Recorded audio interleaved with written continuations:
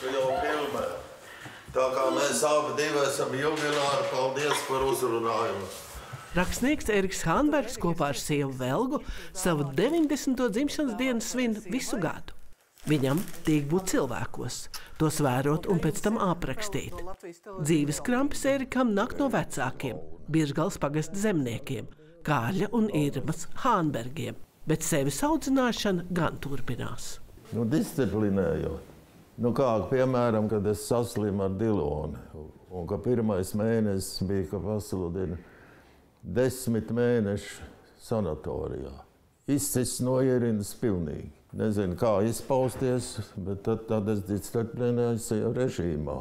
Katru rītu iet pēc piena, pēcpusdienā strādāt parkā, trīs stundas dienā rakstīt. Es ķermeni iestaigāju katru dienu, divas, trīs dienas regulāri.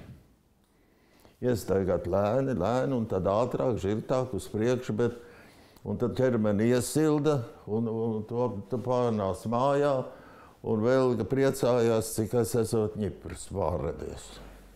Erikam Hānbergam pārdaugos klusumā ir arī savi bērniņi, kā bērnībā, kur smažoja āboli un varēja lasīt vecus žurnālus. Un no manas dzimtās mājas ir palicis paks. Tur vairs nekā nav. Tas ir Birzgals pagasts rimeņos.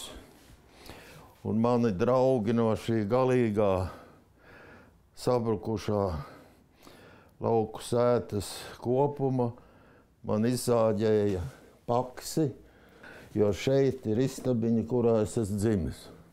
Ērikiņš uz krēsla. Nu, tā nav jauks, bet es nezinu, cik man tur gadi ir. Grāmatu plauktā grāmatas ar paša sarakstīto un literāriem kopdarbiem. Kopā 72. Hanbergam vairāk tiek īsproza ar publicistikas garšu. Humors viņa darbos ir kā obligātā literatūra. Tas ir viņa obolības.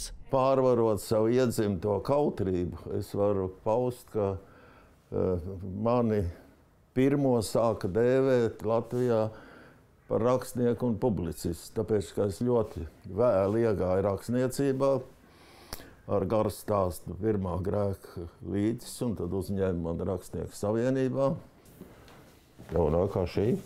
Šī mums tapa gada laikā no idejas līdz realizācijai. Un Regīna Ezera kādreiz ir teikusi, Ērika, no katra tava stāsta taču varētu iznākt romāns. Kāpēc tu knapinies ar tiem maziem stāstiem? Un tad es teicu, Regīna, ja man būtu tāds talants kā tev, te būtu romāni. Bet es tāpat kā tu dzīvoju ar savu vēju, komfortā, ar saviem stāstiem.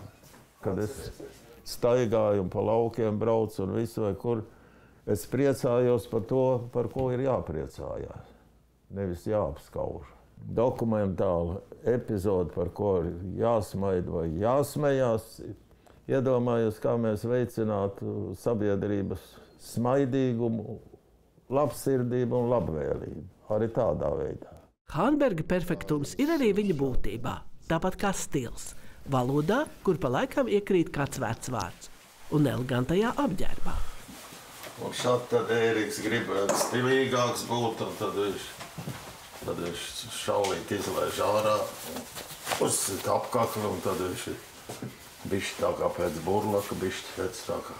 90-gadnieks rakstnieks Eriks Hānbergs uzsita putekļu mēteļa apkakli kā jaunībā un dodas satikt cilvēkus. Priecīgu dzimšanas dienu Hānberga! Ilza Strenga, Edgars Bite, Latvijas